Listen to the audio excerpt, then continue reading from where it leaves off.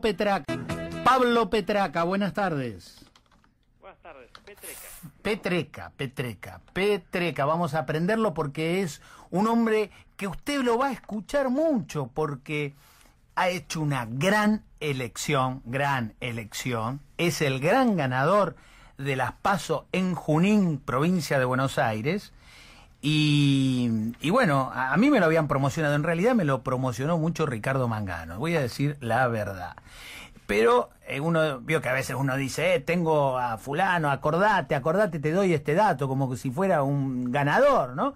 Y uno lo, y de pronto, ¡pum! se da y me acordé. Pablo Petreca, ¿cómo se vivió eso? La verdad que muy muy bien, muy contento, ¿no? Después del, del domingo, un resultado que, para ser honesto, nos, nos excedió, fue mucho mayor al que esperábamos, así que muy contento de que el vecino haya confiado en nosotros, ¿no? Sacamos el casi 37% de, los votos, que son más de 18.000 votos, cuando en la última elección, 2013, habíamos obtenido 8.000 y pico de votos. Así que la verdad que un crecimiento exponencial el nuestro y bueno, muy contento porque el vecino de Junín ha visto en nosotros una forma distinta de hacer política, el vecino de Junín eligió un cambio, bueno, eligió a un, a un intendente o alguien que quiere ser intendente, que está los 365 días del año en, en contacto con los vecinos, ¿no? que fue nuestra forma de, de, trabajar, en contacto con el puerta a puerta. Hicimos una, una campaña puerta a puerta, sin pegar afiches, sin... Eh, te quería preguntar sobre eso, Pablo, porque el estilo pro eh, es este tema que vos estás comentando, el puerta a puerta. Ayer la escuchaba inclusive María Eugenia Vidal hablar con Joaquín Morales Solá y hablaba del puerta a puerta. ¿Cómo, cómo se hace ese puerta a puerta? ¿Es al azar? ¿Se elige? ¿Se trabaja? ¿Cómo, cómo preparás vos el puerta a puerta? Nosotros tenemos do, dos modalidades, o bueno, unas cuantas más, pero dos, dos, dos grandes modalidades. Una es, son lo que llamamos nosotros mateadas. Recién vengo de una vecina de Junín, se llama Viviana, en, en un barrio de nuestra ciudad, charlando con ella, donde nos invitan, ya concertamos previamente eh, el día y horario, nos invitan, allí vamos a la casa, a, su hogar, a su living, a su comedor, en su intimidad, y por supuesto nos encontramos con varios vecinos que están allí para contarnos los problemas, para contarnos cómo viven la situación en, la ciudad, en el barrio, qué, esperan no hacia futuro en, en, de bueno para para próximos días en la ciudad de Junín, que esperan al futuro. Y eso hacemos todos los días.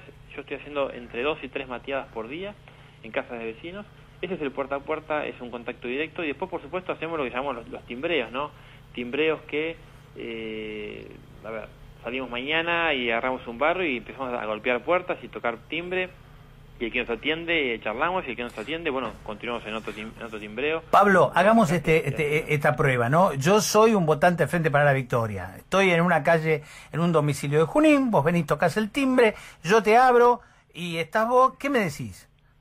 Bueno, me, me presento en primer lugar. Uh -huh. eh, ya ahí, si veo cómo veo tu cara, la cara que me haces, ya me voy a dar cuenta si sos del Frente para la Victoria. Y bueno, y, y entonces, que ponele, me viste cara del Frente para la Victoria, que yo yo tengo mi idea, como pero no voy a no voy a entrar en detalles, eh, y te veo a vos, y, y, y, y, entonces, ¿cómo haces para romper el hielo? Exacto, siempre tiramos a tiro algún tip para romper el hielo, diciendo, bueno, no te asustes, ya vengo a chaval con vos, no importa que pensemos distinto. Eh, uno va, va rompiendo el hielo de, de, de, la forma en que, bueno, va, va sucediendo en el momento, y empieza a charlar, a ver Acá no importa, mira, casualmente el, el, el, día antes de la veda, el día jueves, entré a un comercio y me encontré con una persona que, que la conocía, la había identificado, no sabía que estaba en ese comercio, pero es una persona que me había sido muy crítica conmigo eh, por medio de las redes sociales. Uh -huh. Pero, ¿qué hice? Me fui, me presenté, lo saludé, empezamos a charlar. Y le dije, mira, yo sé que vos me criticas, pero ¿por qué? Vamos, vamos a charlar, ¿por qué, ¿por qué te parece esto? Y empezamos a charlar y me llevó un tiempito más, sí, por supuesto, me llevó en vez de los habituales 5 minutos, me llevó unos 15, 20 minutos, pero pudimos fijar posiciones y pudimos ponernos de acuerdo en muchos temas. Y eso es lo que la política necesita, ¿no? La política necesita eh, el diálogo, necesita sentarnos en una mesa con los que pensamos distintos, y ponernos de acuerdo, a ver. A ver, pero yo, a ver, yo te digo. Vos sos del para la Victoria y sos de Junín, querés que Junín esté más segura, que tenga un transporte público, que Junín tenga obras y servicios en los barrios. Eso solamente lo querés. Por pero, más que sea pero a ver, hagamos esta simulación. Vos me preguntás y yo te digo, ustedes, los políticos, este Mario Meoni me prometió que iba a faltar acá en la esquina 20 veces y nunca lo cumplió, ¿por qué te voy a creer a vos? ¿Cómo reacciona frente a eso? Bueno, por supuesto que en esto, a ver, eh, obviamente uno dice lo que hicimos, cómo nos manejamos, mostramos lo que ya hicimos, mostramos lo que queremos hacer, sin prometer grandes cosas, porque lo que nosotros prometemos es, trabajo, porque es lo único que sabemos hacer, es trabajar, trabajar y, más, y más trabajo. Hemos armado un, equipo, le mostramos al equipo que tenemos, le mostramos que estamos capacitados para resolver esos problemas y por supuesto que hay una parte después que queda en manos de, en mano tuya, en este caso en manos del vecino, mm. que es creer, que es tener esperanza de que hay personas distintas. Evidentemente han creído en nosotros y eso a mí me llena de mucha satisfacción porque bueno, nos han elegido, ¿no? Pero lógico, hay mucha mucha parte, mucha gente que está descreída, muchos vecinos que están muy enojados con la política eh, porque les han prometido y no le han resuelto los problemas. Evidentemente nosotros hemos hecho un trabajo distinto, un trabajo que el vecino lo, ha visto, un trabajo que eh, fue de puerta a puerta, como te decía, un trabajo donde miramos a los ojos a los vecinos y le hablamos con la verdad, no nos manejamos con punteros, siempre con, con transparencia y con honestidad. Y bueno, esa es la manera que, el vecino eh, lo vio, creyó en nosotros y por supuesto nos dio un voto, un voto de confianza. ¿no? Pablo, ¿y vos qué haces después con mi requerimiento? ¿Lo anotás? ¿Anotás mi teléfono? ¿Cómo, haces el seguimiento después de ese diálogo que tuvimos? Sí, tenemos nosotros, cada vez que vamos a, un lugar, eh, tenemos bueno, un par, alguien del equipo que anota, anota los, los, los detalles y las cosas más importantes, por supuesto que eso lo registramos en una base de datos y tenemos un diagnóstico de lo que es la ciudad. Venimos haciendo este trabajo, bueno, no es de ahora, no del año 2009, y ya tenemos un diagnóstico de lo que es la ciudad. En base a ese diagnóstico nosotros hemos preparado un equipo de trabajo capacitado para resolver ese problema. Eso por un lado. Por otro lado, eso por supuesto vamos a poder lograrlo a partir del 11 de diciembre si somos elegidos en octubre.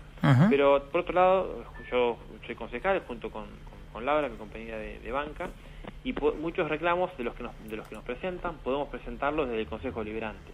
Suponte que hay en un barrio un espacio público destinado a plaza, bueno, hacemos un proyecto de comunicación al Ejecutivo eh, pidiendo de por qué motivo no, no se avanza con eso, o pedimos a lo mejor una luminaria en un determinado barrio. hacemos pedidos nosotros del Consejo Liberante al Ejecutivo. Lógicamente, después queda en mano del Ejecutivo eh, dar respuestas o no, ¿no? Eh, de la cantidad de proyectos que hemos presentado, bueno, las respuestas han sido muy, muy pocas, eh, lamentablemente, pero cumplimos la parte que hoy podemos hacer. Por ah. supuesto que queremos hacer gestión, queremos ser gobierno y quiero ser intendente de la ciudad para poder empezar a resolver los problemas que, bueno, tanto tiempo estuvieron eh, sin resolverse y con tantas promesas incumplidas. ¿no? ¿Vos crees que va a haber balotaje, Pablo? Mira, eh, vamos a ver cómo transitan estos días eh, la sociedad. Creo que quedó algo demostrado, ¿no? Quedó demostrado que hay, es mayor el porcentaje de, votantes que quiere un cambio que quiere continuidad.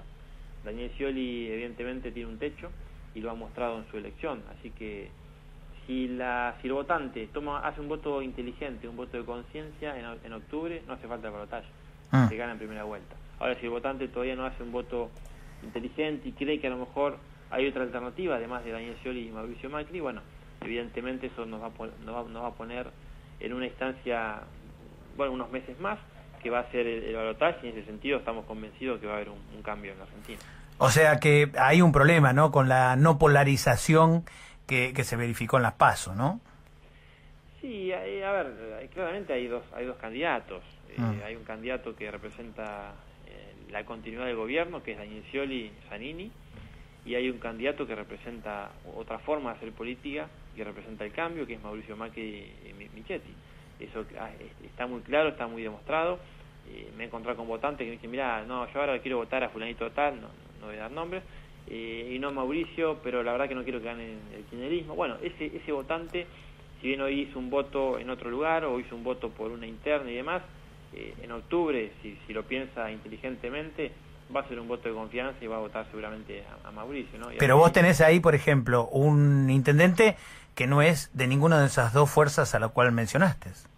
Bueno, nosotros en Junín, yo te hablaba en un esquema a nivel nacional, ¿no? No, no, bueno, pero a nivel nacional mismo se dice que eh, una sacó una cierta cantidad de votos y entonces eh, si va a haber o no negociaciones, va, lo, habrás leído en los diarios eh, y lo habrás escuchado en la televisión o en la radio estas últimas horas.